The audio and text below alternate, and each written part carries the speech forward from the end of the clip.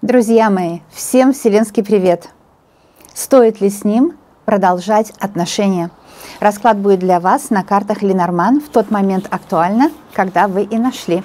И я знаю точно, что карты дадут здравый практический совет вам. Стоит ли с ним продолжать отношения? Здесь две колоды, кстати.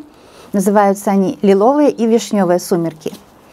И две колоды более глубоко, конечно, смотрят и более детально отвечают на вопросы.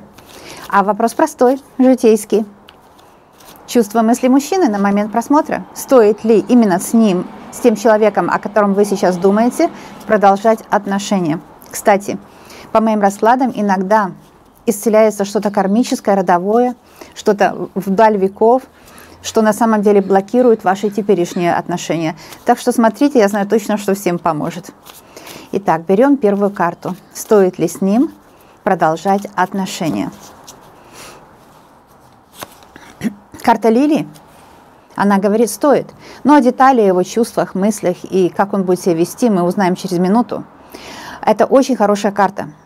Во-первых, она лиловая. Она говорит, что отношения с ним будут очень удачно складываться. И если они были до сих пор напряженные, они станут хорошими, легкими каком понимании легкими? Кто не знает мои видео, у меня есть свое видение легких, легких отношений. Я ясно видящий человек. И, на мой взгляд, только те отношения имеют место быть и имеют э, продолжение, где люди любят быть друг другом. То есть легко это значит легко с друг с другом. Легкий это не, не означает э, не иметь ответственности или же еще что-то. Но, но, но, но, но, это другое. Это не легкие отношения, это наоборот тяжелые ущербные отношения, там, где мужчина не ответственный. Легкие отношения – это когда люд, людям легко с друг другом, и не потому, что обязаны люди быть с друг другом, а потому, что хочется, поэтому и будут. А, кстати, легкость я взяла по ясновидению из, э, из букета, карта букет номер 9, из э, карты лилии. Почему? Скажу просто. А, потому что цветы, они распускаются, потому что им легко – все в природе легко себя ведет, и это правильно. А мы люди напрягаемся, поэтому мы мучаемся. В общем, по этой карте просто. Вы будете с ним жить всю жизнь и очень-очень счастливо. Я карту оставляю, потому что я потом их, конечно, сравниваю, да, очень хорошая карта. Кстати, для отношений карта Лилия самая лучшая, потому что она говорит, что отношения будут развиваться, они будут становиться все глубже, все серьезнее, и вместе с тем будет хорошо, приятно с человеком, потому что лилии благоухают, да, намек на благоухание ваших отношений. Итак, ну давайте посмотрим его чувства, мысли, чувства и его поведение загаданный вами срок – я знаю точно, что это на всю жизнь, это будет очень счастливо. Поэтому эта карта говорит, что срок на всю жизнь быть с этим мужчиной. Этот мужчина по судьбе. Это самый лучший вариант, когда, который вам дала Вселенная. Именно эти отношения. Это карта Лилия, просто вам даю ее рекомендации. Что-то в этой куртке жарковато. Ну ничего, у нас здесь жарко, у нас здесь э, расклад Расклад всегда жарко, карты жаркие, карты греют лучше куртки. Итак, его мысли. Но медведь, медвежьи мысли. А еще есть карта лилии. Смотрите. Это медвежьи мысли человека, который а, себя чувствует а, ответственным за вас. Вот именно в этой комбинации. Потому что лилия – это ответственность. Я вам напомню, что атрибут лилии – это атрибут, например, королей – французских королей. И вообще, что такое король, там, э, управитель какой-то? Он ответственный просто. А, мужчина хочет с вами очень стабильных отношений, потому что символ лилии – это символ королей, и это символ защитника – он хочет быть защитником. А также медведь – это защитник. Также символ лилии мы видим, если кто не знает, на картинах, где изображается Дева Мария. А, ну, из, издревня. Вообще символы, они все, они вселенские, во всех культурах они используются одинаково, но разная атрибутика, да. Дева Мария с лилиями, потому что она дает нам стабильное спасение. Мужчина медведь в голове. То есть что это означает? В голове он хочет стабильности с вами, он хочет быть вам защитником. Он сейчас, может быть, решает какие-то вопросы, чтобы вас защитить от каких-то темных сил, от каких-то претензий других людей, от каких-то нападок родственников, от каких-то нападок недоброжелателей, врагов. Да, медведь защищает от врагов. Медведь делает границы. Кто-то меня спросил, как это определить границы. Но определить границы между собой и другими они всегда должны быть. И у нас граница – это аура. А у нашей Земли, матушки, граница – это атмосфера. Поэтому, в принципе, э, атмосфера защищает Землю от нападок других планет, других, э, других э, комет, например, каких-то, да. То есть атмосфера, она защитная. И, и, и это понятно, что мужчина, как медведь, хочет вас защитить. Он хочет выставить границы между вами и вашими противниками – и знаете, всегда мужчины были защитниками во все времена, и это очень здорово, потому что такая простая вещь. Женщина хранительница очага всегда была, да, мужчина, он был в социуме там главный, женщина главная дома. Но сейчас уже все по-другому во многих странах. Мне пишут разные письма люди, и я скажу одно, ну, комментарий, а, что делайте так, как вам удобно. Вот это ваша пара, как вам удобно. Закон Швеции, знаете, и закон там других, например, восточных стран – или Дальний Восток, или еще как-то. Ну, совершенно другие законы. Это не говорится что-то лучше, что-то хуже. Такой закон, как в ваших краях, правильный. Вы же не можете жить по законам какой-то дальней страны в вашей стране. Ну, ну это не получится потому что есть определенная норма поведения, и в каждом обществе она разная теперь, абсолютно. Поэтому здесь я вижу, что а, если в вашем обществе женщина хранится, хранительница очага, мужчина э, зарабатывает, здесь у него в мыслях, как заработать хорошо, много заработать для вас. Если вы живете в западных странах, где, где совершенно другие рамки, они не лучше, не хуже, они просто другие.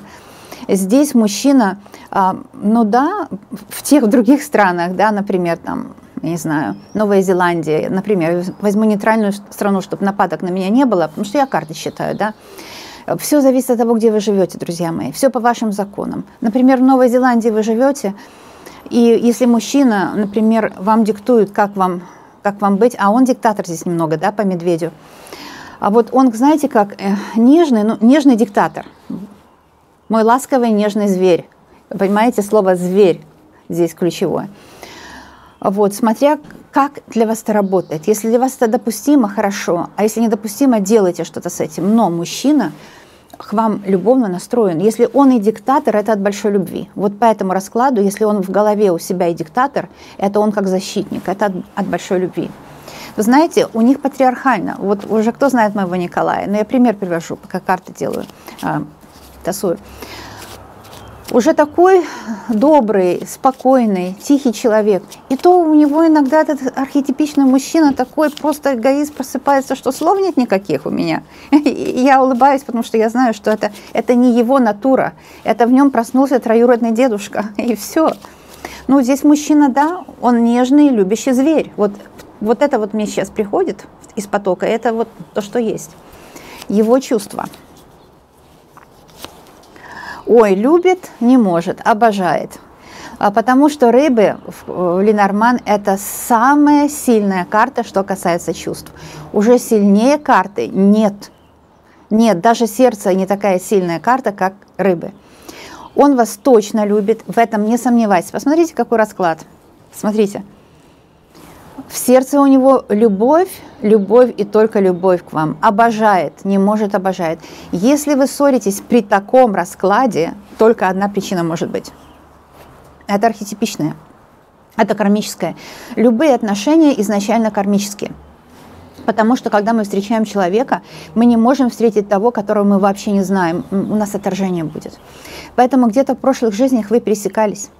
А в прошлых жизнях не обязательно пересечение это было благотворное, потому что а, темные века дают нам кровавые результаты, и мы, мы сейчас видим, что творилось в темные века. Мы можем там осуждать, например, католическую церковь за это, ну тогда, тогда все поступали ужасно.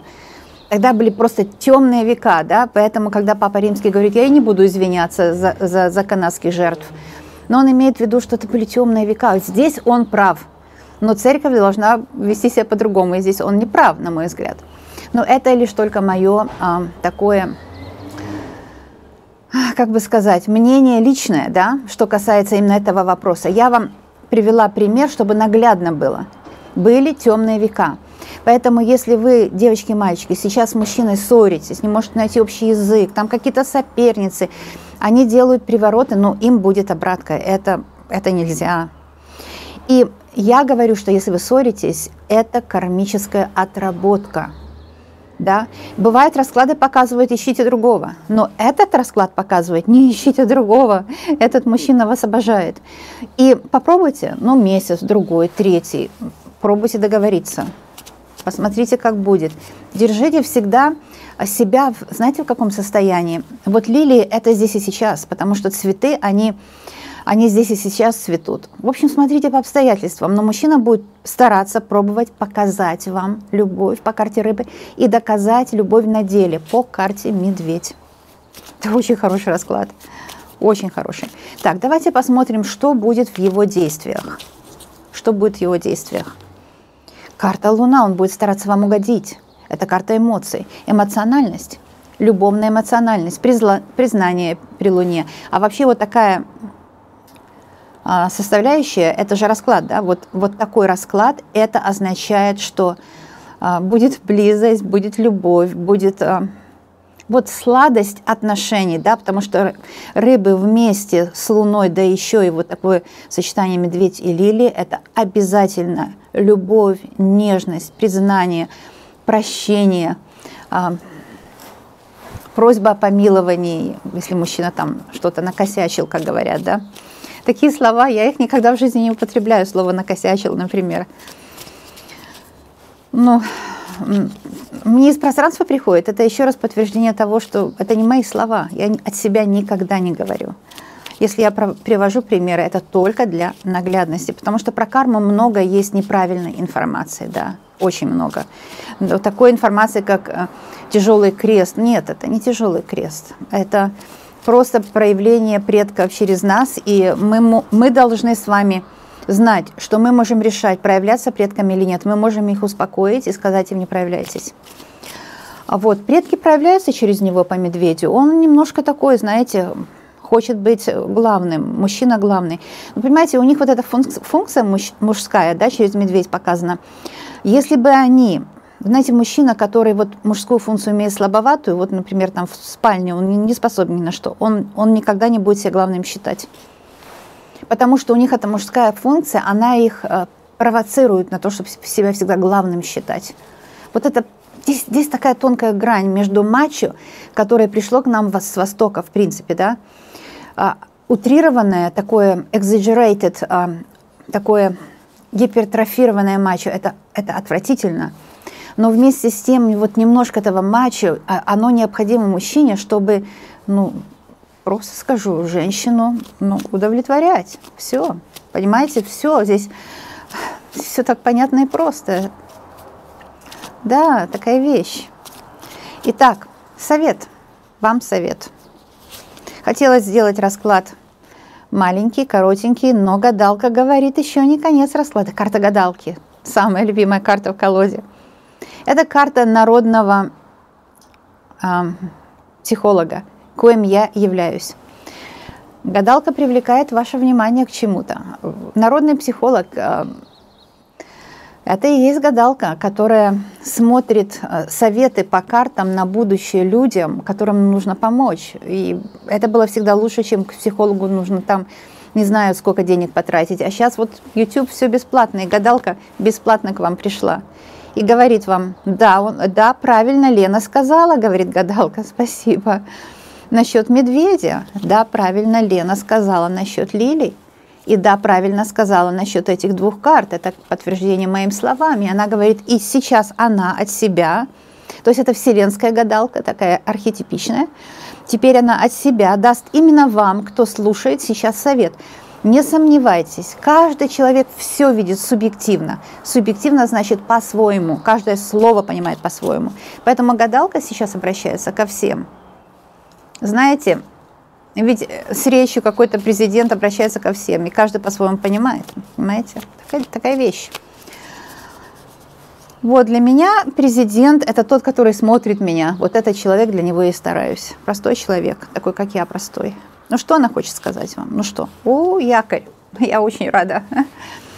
Ну вот что она хочет сказать. Потому что рукой предсказателя ведет сама судьба, да? Я спросила, могу ли я моей рукой взять карту, которая выразит вам, что гадалка хочет сказать, она просто говорит, да, можешь, и карта якорь. Ох, как мощно! Стабильный мужчина. Стоит ли с ним продолжать отношения? Карты э, Ленорман и Тарони минималистичные. Просто, прямо, понятно. Стоит, все. И вы сами знаете, что такое якорь? Это стабильность. Уже что может быть менее стабильно, чем корабль? Подумайте. Ничего. В принципе, потому что корабль, он зависит от воды, например, да? Во времена Ленорман не было этих моторчиков, то есть корабль зависит полностью от воды, ну и паруса, то есть от ветра и воды. Самое нестабильное – это корабль. Вот, вот. Куда, куда волна, туда и корабль. Кстати, то же самое происходит в космосе. Потому что в космосе, когда ракета стартует, там ей не нужно топливо. Там все плывет, все расширяется, все плывет, все идет дальше. Кстати, наш ум по образу и подобию космоса, он тоже хочет что-то новое. Да? Но здесь мужчина, он определился, якорь пустил. И поэтому якорь, он как бы полная противоположность нестабильности корабля. То есть у каждого корабля есть свой якорь. Да? Если ракета должна приземлиться, у каждой ракеты должно быть достаточно топлива, чтобы приземлиться на какую-то поверхность. А это огромное количество топлива. Поэтому мы не можем еще пока лететь на другие галактики по этой причине. Вот такая вещь. И здесь у нас, ну, одна из причин. Я вообще не астроном, я астролог, кто не знает. Мы немножко так любим очень, очень-очень любим про звезды. Здесь у нас якорь, говорит, гадалка говорит, стоит с ним продолжать отношения, стоит искать общий язык. Вообще с любым человеком, который вас любит, стоит всегда искать общий язык. Вообще с любым человеком всегда стоит искать общий язык, потому что это жизнь, поиск общего языка. Понимаете? И гадалка говорит одним простым словом, что он хочет с вами стабильных отношений. Он вообще хочет стабильности в жизни. Он хочет стабильности, он хочет уюта, спокойствия, спокойной жизни. Утром встал, приятный запах кофе, поцелуй, нежные слова, спокойные с утра, без, без надрыва, это утро. Ничего не нужно решать дико, прямо утром. Оделся красиво, нравится одежда. А если есть возможность пойти пешком на работу, да это ж кайф какой. Мало у кого такая возможность есть. Там или в транспорте и так далее. На работе все нормально, солидно, спокойно. Кстати, ведь якорь это хорошая работа будет и у него, и у вас. Пришел домой, прекрасный дом. В доме всегда хорошая погода. Мы должны понимать, природа, она имеет, как говорят, нет плохой погоды у природы, да? Но мы знаем, что есть и слякоть, и дождь, и снег, и все такое. Но есть хорошая погода в доме. В доме всегда должен знак плюс быть. Всегда хорошая погода. Вот об этом якорь. Он хочет, чтобы между вами в вашем доме всегда была хорошая погода. Он только к этому стремится, говорит гадалка теперь. Вообще, какой расклад шикарный. Я обожаю вот эти карты. Посмотрите, какие они замечательные, сколько они добра приносят. Это как обереги для вас. В доме у вас всегда будет хорошая погода. В доме всегда с этим мужчином будет взаимопонимание. Знаете почему? Просто. Он к этому стремится, и вы к этому стремитесь. Поэтому это будет. Эта сирена включилась, и а, теперь она выключилась. Вот такой расклад, дорогие мои любимые. Очень хороший расклад. Гадалка говорит, будет стабильность, будут долгие отношения, счастливые, будет любовь, будет эмоции приятные, страстные эмоции. Вот так вот эта комбинация страстные эмоции. И вообще Луна – это судьба, так что мужчина по судьбе. Это один из лучших вариантов, который вам могла дать судьба. Такой расклад, девочки мальчики. А я хочу сказать, что я вас люблю, обожаю.